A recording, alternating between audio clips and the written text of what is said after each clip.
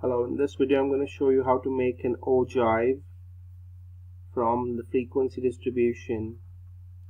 So the frequency distribution that you made in that you only need the first column and the fourth column. So repeat the steps of making the frequency distribution but only make the first and the fourth column.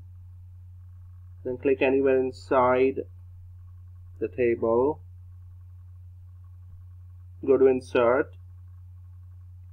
And the line graph is the same as the ogive so we'll use the one with markers.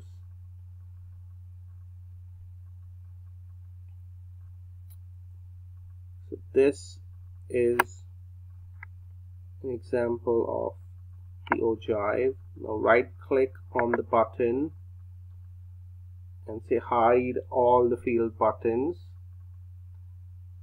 click on the legend delete.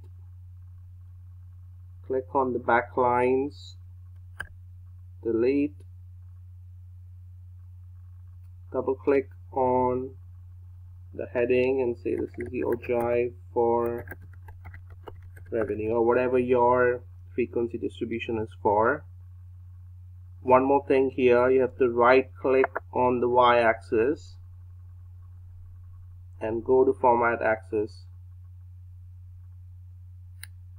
and put the minimum which is closest in your cumulative frequency. So around 35 this will reduce the gap from the x-axis to the closest point so that you get a better idea of the trend.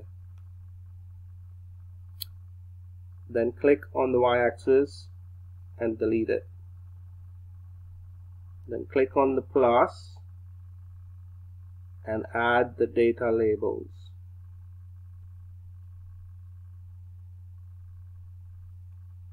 And this will be an example for the ogive, which uses the cumulative frequency. Any questions, type in below.